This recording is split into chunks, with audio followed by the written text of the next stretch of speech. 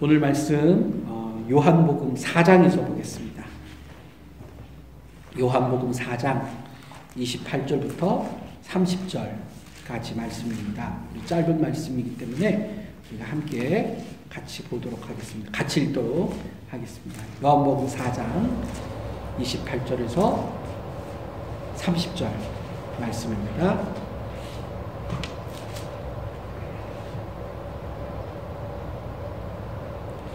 같이 읽겠습니다. 시작. 여자가 물동이를 버려두고 동네로 들어가서 사람들에게 이르되 내가 행한 모든 일을 내게 말한 사람을 와서 보라.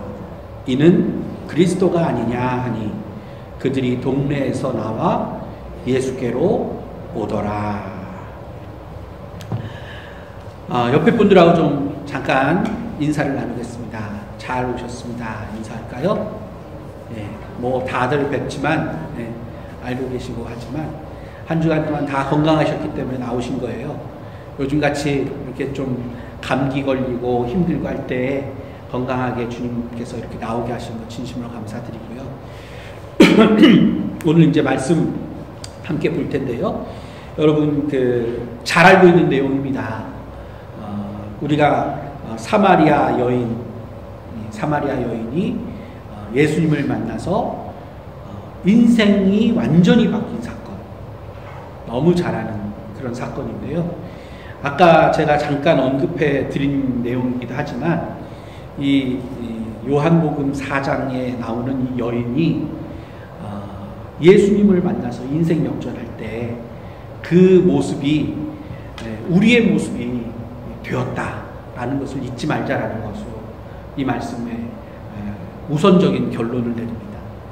여러분 우리 모두 다 고쳐서는 사용할 수 없는 인생들이었습니다. 동의하십니까? 우리 스스로는 고칠 수 없는 어떤 그 무슨 나을 좀더 나아질 것이라는 희망이 없는 그런 인생에서 예수님을 만나 변화되었기 때문에 우리가 지금 이렇게 주님 앞에 나올 수 있었다라는 것을 여러분들 매 순간 고백하는 은혜가 있기를 바랍니다. 아멘. 성경 속에서는 참 많은 그런 문제들을 갖고 사람들이 살아갔습니다. 하지만 그들은 결국 예수님을 만나서 훨씬 더 나은 삶, 그리고 결국에 가서 하나님의 백성까지 갔던 그런 은혜를 경험한 사람들이 참 많이 이렇게 성경에 기록되어 있습니다. 그동안 제가 금요 예배 때 뭐 여러 사람들을 지금 제가 소개하면서 예수님을 만났던 사람들, 그리고 그 사람들이 어, 과거에 있었던 삶, 삶에서 예수를 만나 변화되어 새로운 삶으로 바뀐 모습들을 제가 여러 명 소개를 했습니다. 지난주에도 38년 된 병자가 베데스다 연못에서 어떻게 고침을 당하지 못하고 그런 좌절된 삶에서 예수님 만나서 나음을 얻은 모습을 봤죠. 근데 오늘은 이 여인은 어떤 여인이었냐? 육신의 병이 고쳐진 것이 아니라 영혼의 병이 고쳐진 거예요. 영혼의 병. 그러니까 우리 지금 현재 세상 속에서 사는 사람들에게 가장 필요한 본문이 됩니다. 이 여인에 대해서 제가 잠깐 소개를 할게요. 여러분이 잘 알고 계시지만 이 여인은 사마리아 지역에서 살았던 사람입니다. 근데 이 사마리아라는 곳은 어, 지금 유대 땅 가운데서도 가장 어, 뭐라 그럴까요? 자존감이 낮은 상황 속에서 사는 사람들이 사는 곳이 사마리아인 지역입니다. 그래서 같은 동족인 유대 민족들도 그 지역 사람들을 만날 수가 없다 생각해서 그 지역을 가지도 않은 만큼의 그런 천대받고 아주 아주 뭐라 그럴까요? 어, 외면당했던 곳이 사마리아 지역입니다. 그런데 그 사마리아 지역 속에 있는 사는 사람들의 공동체 속에서도 이 여인은 외면받고 또 천대받았다라는 것이 이 성경에서 기록되어 있는 내용입니다. 여러분이 잘 아시다시피 이 여인이 사람들이 함께 모여서 이 우물가에서 여인들이 같이 서로 이렇게 대화도 나누고 친교를 나누고 하는 그 시간을 피해서 한낮에 우물물을 기르기 위해서 우물가로 간 모습을 보게 됩니다. 우리 한번 볼까요? 요한복음 4장 앞에 부분입니다. 우리가 읽지는 않았지만 같이 좀 이제 앞에 부분도 보면서 읽어볼까 하는데요. 5절 말씀을 한번 벌써 5절과 6절 말씀을 함께 같이 읽어보겠습니다. 시작. 사마리아에 있는 수가라 하는 동네에 이르시니 야곱이 그 아들 요셉에게 준 땅이 가깝고 거기 또 야곱의 우물이 있더라. 예수께서 길 가시다가 피곤하여 우물 곁에 그대로 앉으시니 때가 몇 시요? 6시쯤 되니라. 지금 우리 이스라엘 백성들의 시간 개념과 우리의 시간 개념은 완전히 바뀝니다. 이 부분에 대해서도 제가 나중에 이야기할 이야기가 말씀 말씀드릴 이야기가 있지만 우리는 보통 새벽이 새벽이 어, 하루의 시작이 되죠. 근데 성경 창세기에서 보면 하나님께서 창, 하루를 지으실 때 어떻게 말씀하시죠? 저녁이 되고 아침이 되니. 그쵸? 그래서 이스라엘의 개념에서는 저녁 시간부터 밤이 하루의 시작이에요. 저녁부터 하루가 시작이 돼요. 그래서 시간 개념이 우리의 시와 다릅니다. 지금 여기 6시는 어떤 시간이에요? 여기 지금 6시가 정오예요. 시간이 완전히 거꾸로예요. 우리는 지금 6시가 해가 떨어진 시간이라고 생각할 수 있겠지만 그렇지 않고 이스라엘 백성들의 시간 개념으로서는 정오의 시간입니다. 왜 정오의 시간이냐? 해가 내리치는 때 사람들이 그때는 너무 뜨거운 날씨였기 때문에 우물가에 모이는 것조차 할 수 없는 그 시간. 그때 사람들의 눈을 피할 수 있기 때문에 사마리아 여인이 물을 길러 간 거예요. 그만큼 이 여인은 어떤 여인이에요? 소외받고 완전히 사람들과 격리된 삶을 사는 그런 불쌍한 여인이었다는 거예요. 그 이유가 왜, 왜 그러느냐? 그 여인, 그 여인의 상태가 여기가 나오게 되는데요. 예수님과의 대화 속에서 나옵니다. 예수님이, 어, 6, 9절 말씀을 한번 볼까요? 사마리아 여자가 이르되 당신은 유대인으로서 어찌하여 사마리아 여자인 나에게 물을 달라 하나이까 하니 이는 유대인이 사마리아인과 상종하지 아니함이라. 10절에 보시면요. 예수께서 대답하여 이르시되 내가 만일 하나님의 선물과 또 내게 물줄 어, 물좀 달라는 이가 누구인 줄 알았더라면 내가 그에게 구하였을 것이요 그가 생수를 내게 주었으리라. 말씀이 나오죠. 근데 지금 이 앞부분에서 보면 이 여인이 왜 사람들에게 소외당하고 문제가 있느냐? 이 여인에게는 남편이 많이 있었어요. 그것이 윤리적으로 그 당시 윤리적으로는 허용될 수 없었던 상황이었어요. 이제 이, 이 어, 이혼 가정 이런 이스라엘의 문화에 대한 얘기도 나중에 제가 말씀드릴 얘기가 기회가 있겠지만 어, 이혼에 대한 이야기는 여인들은 그 당시 때 가장 어, 뭐라고 할까요?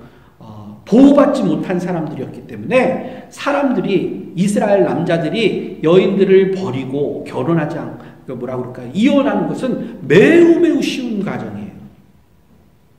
하지만 그것이 책임이 남자에게 있기보다는 여자에게 있게 돼요. 그리고 그 그것이 반복됨으로 인해서 이 사마리아 여인에게는 아, 말 그대로 낙인이 찍어버리, 찍혀버린 거죠.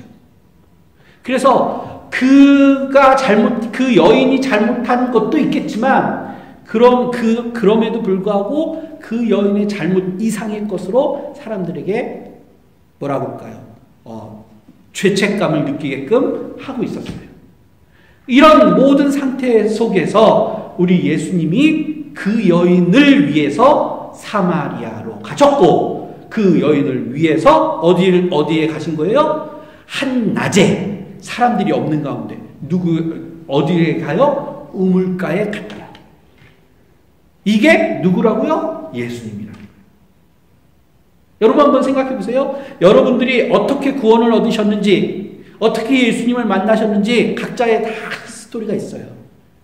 뭐 어떤 사람 같은 경우는 뭐 저는 뱃속에서부터 우리 어머니께서 태어, 태어날 때부터 태중에 뭐래 모태신앙이어서 이렇게 했습니다라고 하지만 그 그것이 예수님을 내가 구주로 영접한 날은 아니잖아요. 태어나서 언젠가는 예수님을 구주로 내 입으로 고백하는 그때가 정말 구원 얻은 날이라 한다면 여러분들의 구원의 스토리는 그때부터 시작이 됩니다. 여러분 그럴 때 그때 누군가에게 예수 그리스도에 대한 이름을 듣죠. 그때 그 모든 상황들을 봤을 때 내가 스스로 예수를 알고자 해서 만났었습니까? 그게 아니라는 거죠. 모든 하나님의 사람들은 다 예수님이 우리에게 찾아오셨어요. 하늘 보좌를 버리시고 가장 낮고 천한 상황에서 그의 몸을 인간의 몸을 입고 이 땅에 내려오셨어요. 그리고 그리고 우리를 그 하나님의 때에 만나 주신 거예요. 어떻게 해요? 우리 상황 속으로 주님이 오셔서 할렐루야. 이것이 구원인 거예요. 만약 내 능력으로 주를 찾았다. 내가 주를 만날 수 있어서 만났다 하면은 내 속에는 뭐가 그 속에부터 시작이 되냐면 자랑이 생기게 돼요. 그쵸? 내 능력으로 하나님 만난 거 아니에요. 그래서 자랑거리가 돼요. 그러나 그런 것을 자랑할 수 없, 없을 만큼 우리 주님은 우리를 직접 찾아오신 거예요. 그래서 우리를 만나주셨고 우리에게 그것이 은혜가 되는 것입니다. 여러분, 내가 지금 여기 이 여인보다는 내가 지금 나은 상태야 라고 얘기하시는 분들이 있을 수 있어요. 그런데 속으로 한번 들어가 봅시다, 속으로. 지금 우리 겉에는 내가 조금 더 잘 살 수 있어요. 더 좋은 집, 또 더 좋은 명예, 명예 그 지위를 갖고 내가 이 땅에서 그래도 살고 있다고 한다 할지라도 내 속으로 들어가면 나는 그리스도께 치유함을 받아야 할 사람이에요. 상한 감정, 상한 심령이 그리스도로 인하여서 고침을 받아야 할 상황이 우리 모두예요. 그래서 우리는 날마다 주님께 은혜를 구해야 합니다. 아멘? 그리고 그 은혜를 구할 때 하나님이 나를 찾아와 주시는 것이 복음이라는.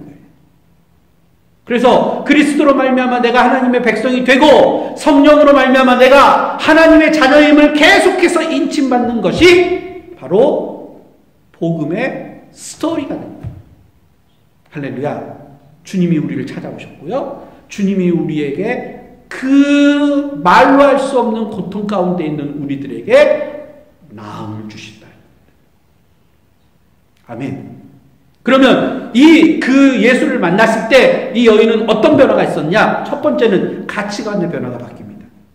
물질적인 생각. 여기 보면 오늘 본문을 한번 보십시오. 28절에 제가 여자가 뭘 버리고 나가냐고요? 뭘 버리고 어, 동네로 갔죠? 물 물뚱이를 버려두고. 여러분 이 여인에게 이 물뚱이 물뚱이가 뭐예요? 우물가에서 물을 퍼서 집으로 가져가는 거예요. 근데 여러분이 이제 나중에 이제 또 제가 계속 얘기하지만 사마리아라는 지역이 매우 매우 높은 고지에 있어요. 물이 잘 나지 않아요. 그래서 구약 성경에 물 하나님께서 야곱에게 축복을 주셔 가지고 야곱이 판 우물이 바로 야곱의 우물이에요. 야곱의 여기 지금 요한복음 그러니까 우리가 읽었던 아까 사장 맨 앞부분에 야곱의 우물에 대한 이야기가 나오잖아요. 이 야곱의 우물은 하나님의 특별한 은혜 가운데서 땅이 척박한 땅에 물이 나게 하나님이 하신 은혜의 장소인 거예요. 이게 그냥 그냥 흘려 들어갈 것이 아니라 하나님의 유대 이스라엘 백성의 조상 때부터 내려온 하나님의 언약의 장소인 것이에요. 근데 이곳이 어떻게 됐어요? 사람들의 죄로 말미암아 축복의 장소가 저주의 장소로 바뀐 거예요. 열두 지파 중에 열 지파가 하나님의 백성으로서 살지 않고 계속해서 그 열 왕들이 죄 가운데서 살다 보니까 먼저 유대 땅보다 100, 한 80여 년 정도 더 전에 나라가 멸망하게 돼요. 그리고 나서 나라 잃은 백성으로서 살게 된, 되면서 그 치욕과 모욕을 당하면서 정말 저주받은 사람으로 저주받은 땅으로 살게 되는데 그런 척박한 땅 속에서 지금 이 예수님이 오셔서 만나주신 거예요. 그래서 거기에는 물, 물이 너무 귀한데 이 물뚱이 하나 가지고 사는 삶에서 물질적 가치관을 가지고 있던 이 여인이 영적인 것을 구하는 사람으로 바뀌게 됩니다. 마찬가지로 우리 역시 예수님을 만날 하나님의 백성들이라면 우리의 가치관의 변화가 생겨야 돼요. 아멘? 우리가 세상 사람들처럼 물질적 가치관을 우선적으로 살던 사람들이 내가 가지고 있었던 물덩이를 버려버리고 이제는 누구를 향해? 그리스도를 향해 나가야 돼. 여기 여인이 물뚱이를 벌어들고 동네로 들어가서 사람들에게 이르되 하면서 그 이른 말이 뭐예요? 이른 말이 뭐예요? 29절 내가 행한 모든 일을 내게 말한 사람을 와보서 보라 와서 보라 성경에서 와보라라고 전도하는 구체적인 전도의 내용이 나온 것이 딱 두 군데 나오거든요 그 중에 한 곳이에요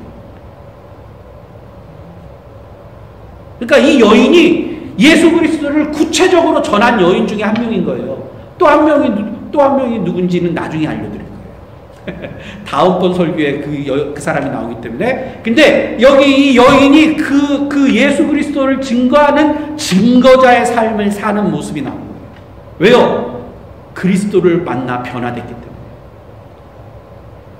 다시 말씀드리면 무슨 말이냐? 우리의 삶이 우리의 삶이 그리스도로 말미암아 죽음의 자리에서 생명의 자리로 바뀌었다면 우리의 가치관이 물질적 가치관에서 생명의 가치관으로 바뀌어야 될 것이고 또 우리의 관점이 죽음에서 생명으로 이 세상 가치관에서 그리스도로 바뀌어야 된다는 것이고 그래서 우리의 입에서는 뭐가 나와야 돼요? 그리스도를 증거하는 증거자의 삶이 돼야 된다. 아멘. 수없이 반복합니다.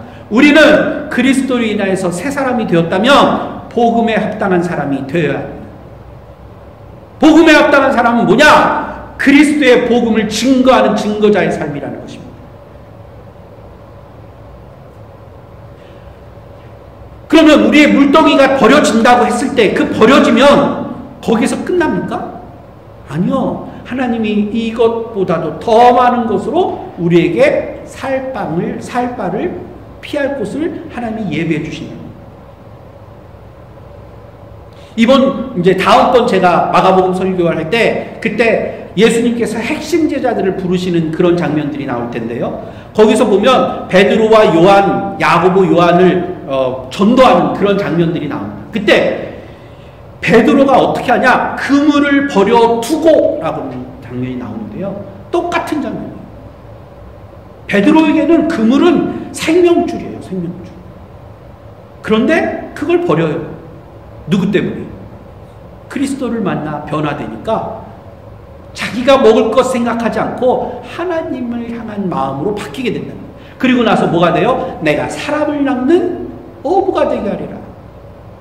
역시나 복음 전도자의 삶으로 하나님이 이끄시고 그 길에 순종하는 삶을 사는 것이 베드로와 야고보와 요한이에요. 우리 마찬가지예요. 내가 하나님으로 인해서 구원받았다면 그 자리에서 머물면서는 절대 안 된다는 거죠. 반응이 있어야 될 거예요. 아멘. 그리고 또 한 가지 이제 한 가지 더는 여러분 보세요. 예수를 통해서 우리의 인생이 역전될 수 있다고 말씀드렸어요. 어, 그러면 이, 이 여인이 무엇을 통해서 사람들 앞에서 예수 그리스도 를 증거할 수 있었는가를 한번 봅시다. 30절 말씀을 한번, 아니 29절 다시 한번 보겠습니다. 29절입니다. 같이 읽어볼게요. 시작. 내가 행한 모든 일을 내게 말한 사람을 와서 보라. 이는 그리스도가 아니냐 하니. 지금 이 29절 말씀이 그 여인의 입에서 쉽게 나왔을까요? 제가 앞에서도 다 얘기했잖아요. 이 여인은 사람 만나는 것이 너무 싫은 사람이었어요. 왜요? 그 여인의 과거가 들춰나, 들춰다는 것이 싫었기 때문에. 그래서 사람을 만나는 것이 너무 싫어서 사람 없는 시간을 쫓아서 살았던 사람이에요. 그런데 이제는 어떻게 해요? 사람 만나러 가요. 사람 속으로 들어가요. 그래서 누구를 전해요? 예수를 전해요. 그럼 이것이 그 사람의 의지대로 가능할까요? 의지가 가능했을까요? 제가 예, 우리가 지난주에 우리가 말씀을 봤을 때 예수님께서 시험을 당하셨잖아요. 그때 그 광야로 예수님을 이끄셨던 분이 누구죠? 성령님이셨잖아요. 그죠? 그죠? 그러니까 하나님의 백성이 되니 그 다음부터는 그 하나님의 백성 된 사람은 누구의 이끌림을 당해서 이끌림을 받고 산다고요? 성령님의 이끌림을 받아서 삽니다. 아멘. 그러니까 지금 이 여인은 누구의 이끌림으로 인해서 그 동네 사람들에게 갔을까요? 예? 성령이요, 성령. 성령이 안에서부터 우리를 예, 할 수, 아, 행동을 안 할 수 없게 우리를 몰아가신다는 거예요. 몰아가신다. 이것이, 이것이 하나님의 백성으로서의 삶의 원동력이 거예요. 아멘? 여러분들도 성령 마냥, 매 순간마다 성령님 나를 주관하여 주시옵소서 말만 하시지 마세요. 어떻게 하셔야 돼요? 성령이 내 속에서 일하시는 것을 순종함으로 성령님 나를 몰아가시도록 나를 이끄시도록 내 몸을 성령님께 맡기시는 삶을 사셔야 하나님이 기뻐하시는 그런 삶을 살 수 있게 겁니다. 아멘. 말씀을 예, 맺도록 하겠습니다. 오늘 말씀 좀 짧게 하겠습니다. 여러분 성령에 이끌리는 삶을 사시길 바랍니다. 그거는 변화된 사람만의 특권이라고 생각합니다. 예수님을 만나 변화되지 않으면 성령님은 그저 딴, 딴 세상의 얘기입니다. 그런데 예수님을 만난 사람만이 내 속에 성령님이 계실 수 있고요. 죄의 문제를 해결한 사람만이 내 속에서 성령님이 나를 주관하실 수 있습니다. 그리고 성령이 이끄시는 그 짜릿한 경험을 하실 수가 있게 됩니다. 아멘. 아멘. 성령 충만하십니까? 이 말씀 하나 질문하고 마치겠습니다. 여러분 지금 성령 충만하십니까? 성령이 내 속에 계십니까? 똑벌춤하게 하시려고 대답 좀 해주세요. 성령 충만한 삶을 살고 계십니까?